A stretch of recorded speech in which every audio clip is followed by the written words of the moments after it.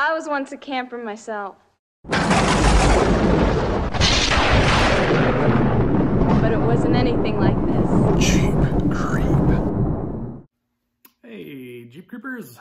On this episode of Ammo Can or Ammo Box Stove, pellet stove, uh, I want to first um, take and let everybody know um, that I was actually warned um, by one of my uh, YouTube subscribers, which I'm very thankful for, that when you're buying steel that you're going to use for a stove, you have to keep something in mind. Um, a lot of products like that I bought that I was super excited about, uh, this guy, uh, you really need to pay attention because right, where's it at? There it is, zinc plated, okay? So steel rust. If you buy weldable steel like this, you'll see this was, I purchased in this in the store like this, um, it rusts.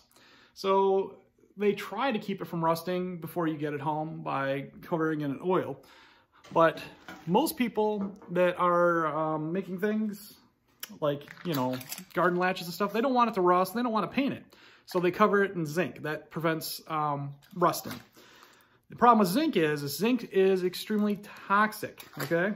Um, you know, you can't weld it, you can't cook it, you can't do anything. And for the matter of fact as well, um, the other thing to look out for is galvanized steel. Galvanized steel is also another coating that they use, um, which is also toxic when you burn it. So you don't want to use that either. Um, I was also looking uh, at other coatings like uh, brass and bronze. Now, if it's pure, which kind of hard to tell if it is because they don't really tell you usually, I think, if it's pure, it can contain zinc as well.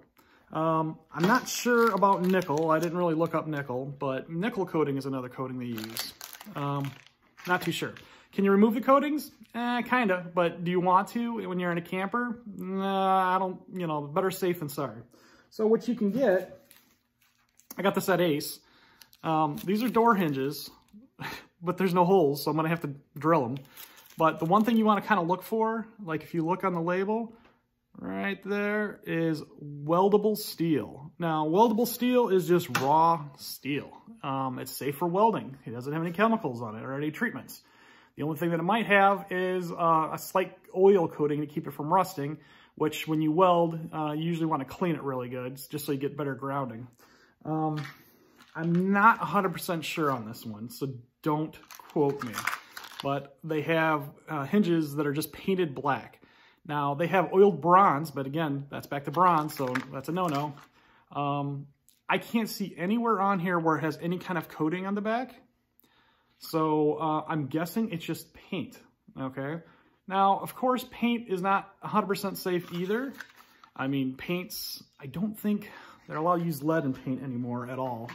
Um, but obviously that would be poisonous. Um, who knows what other chemicals are in paint, so you're going to want to cook the stove a bunch of times in an open area before um, ever attempting to use it in a closed area.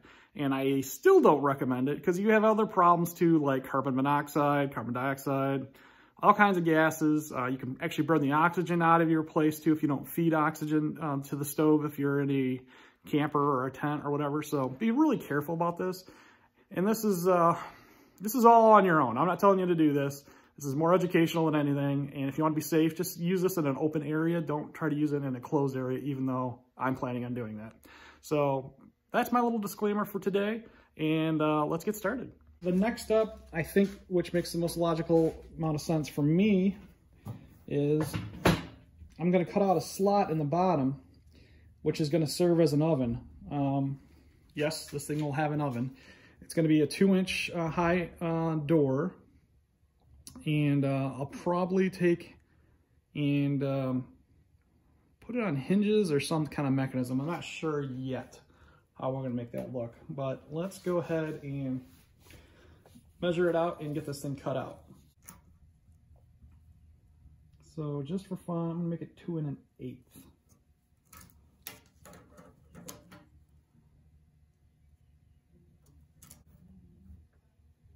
seem to find my other one.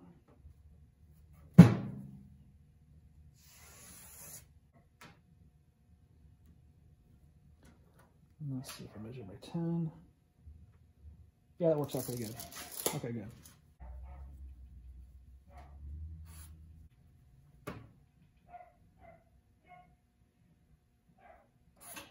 Technique, drilling and jigging.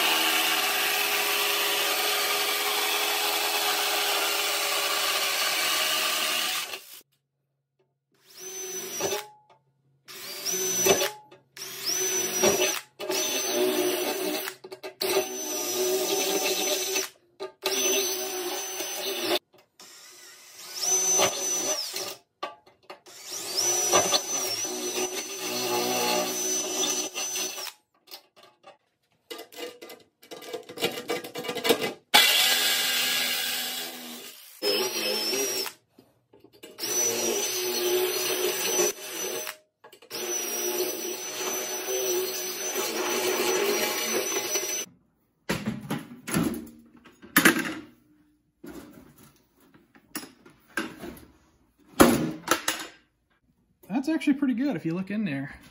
It's uh, just starting to scratch a little bit, which is good.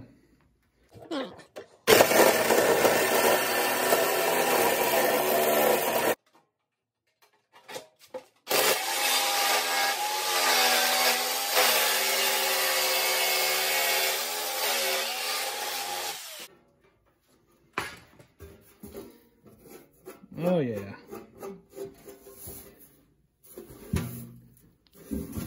So what I'm going to do now is I'm going to put a false bottom above that.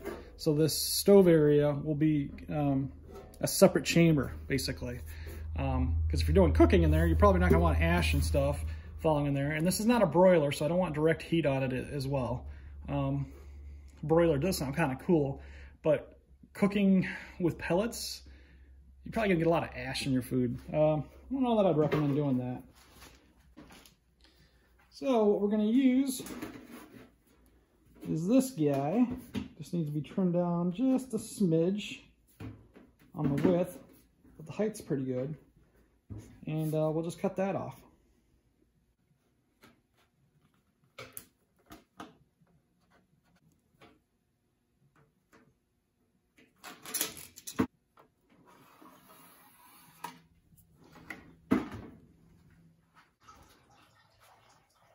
All right, had to run out of space here, so uh, move to the basement. No, that's not an old man peeing in the background. That would be my well pump, or my sump pump.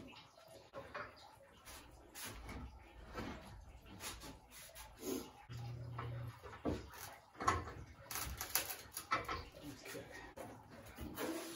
This is the line for the door.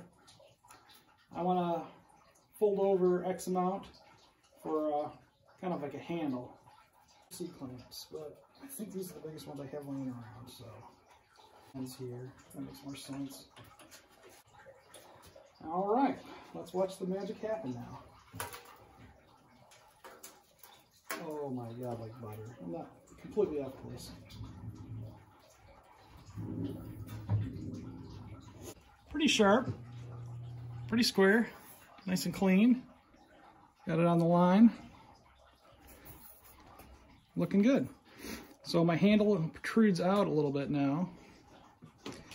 Um, I wonder if I can put one more bend in it to get it to go down and around. Let me figure that out.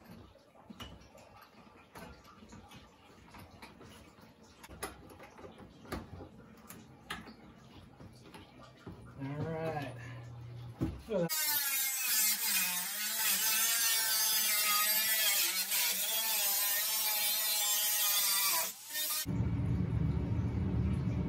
Think what I'm gonna do is just pound it out with a hammer. That makes more sense.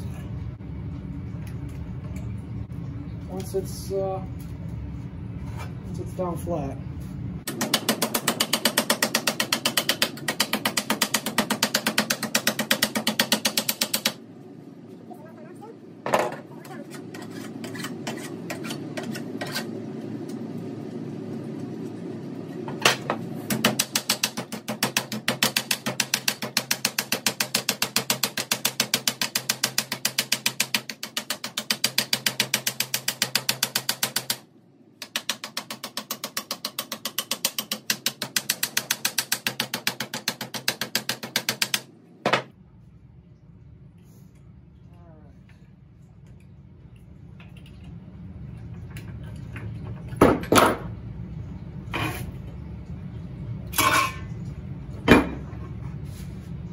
So now we got this little L-shaped handle.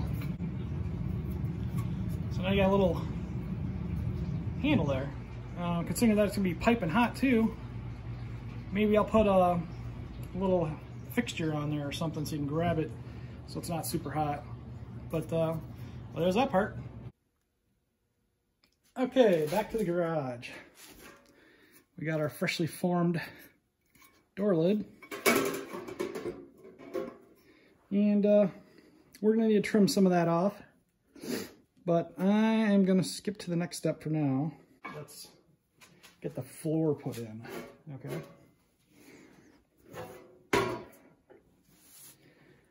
Because this won't work without that floor, and uh, we got a lot of welding to do.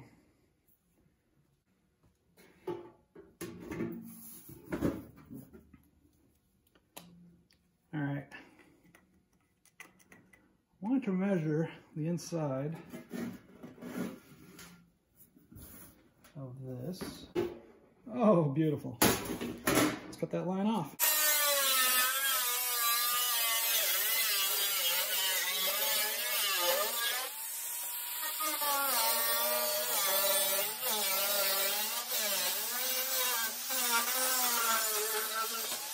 I'm gonna need to round the edges off.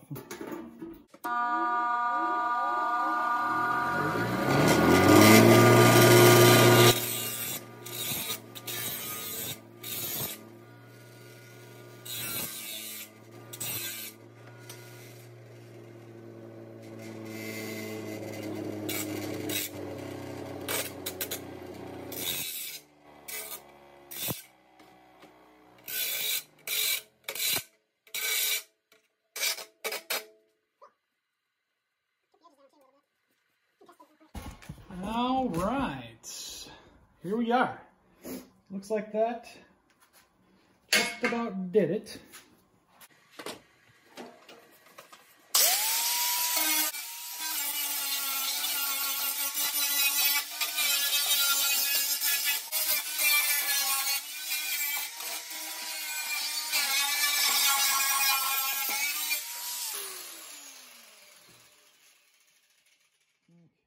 All right, let's hopefully get this fixed.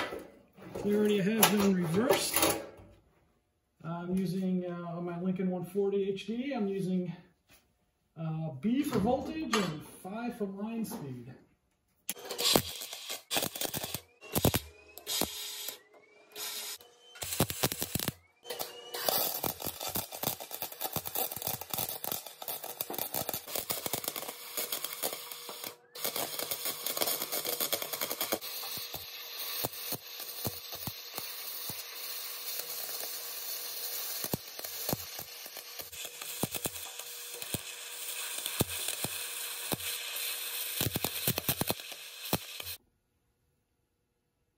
Okay, well, we got our ugly welding done on the uh, bottom cavity.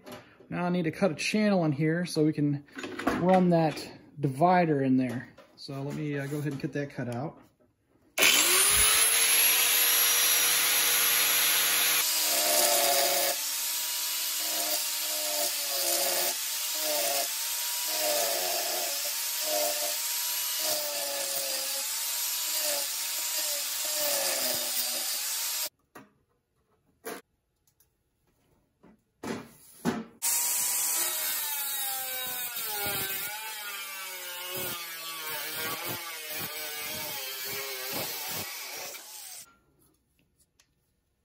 Oh, look at that.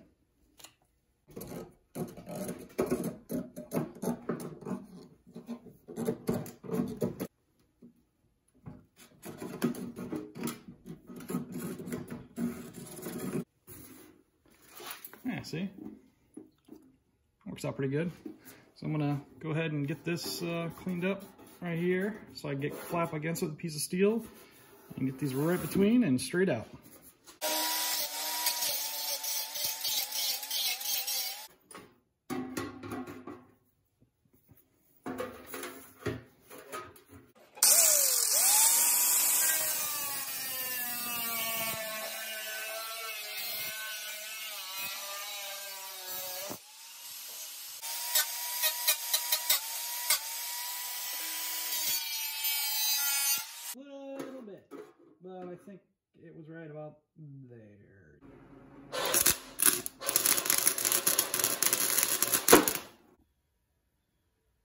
All right, so I ran out of weld wire and uh, I bought some new wire.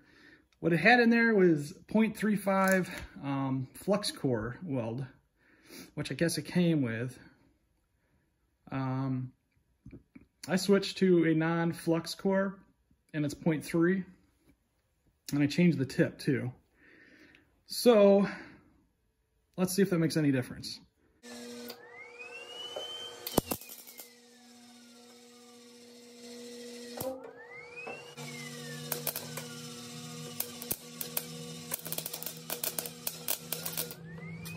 Just long enough.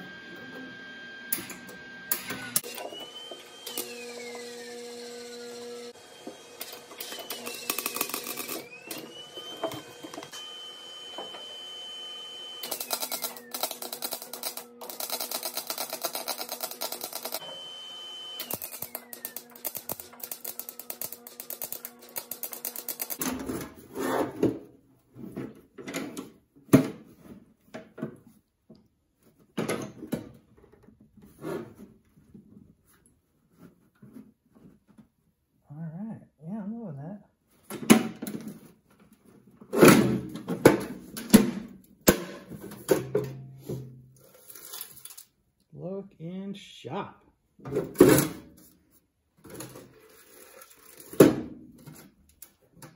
I like that.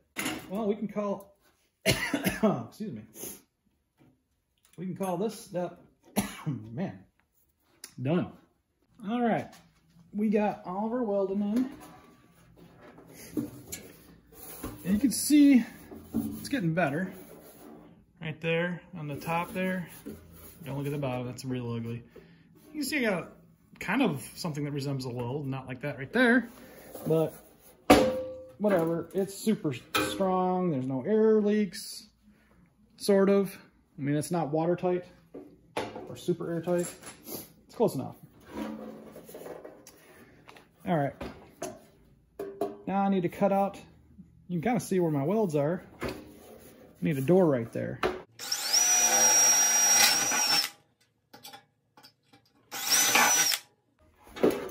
This knocked out.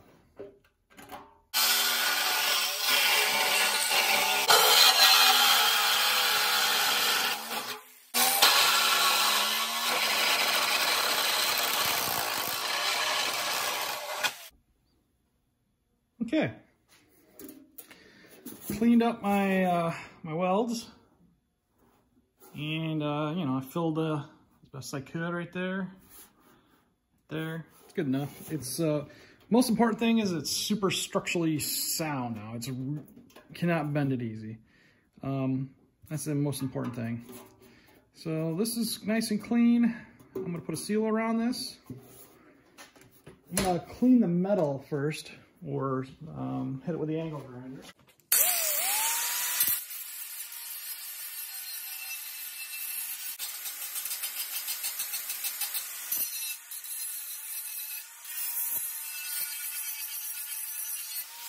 So what I'm gonna do, I'm gonna put this down first, and the seal's gonna go on this side. And then I'm gonna have a door and it locks down nice and tight. So first we need to get this glued down Of course, she ain't gonna move and then we can look at doing a door.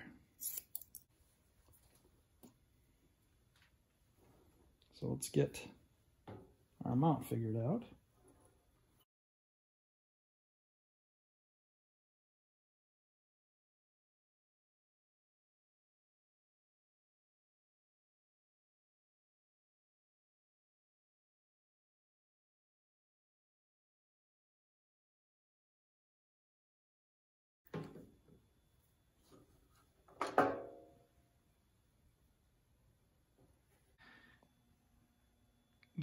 Uh, seal on there, my rope seal.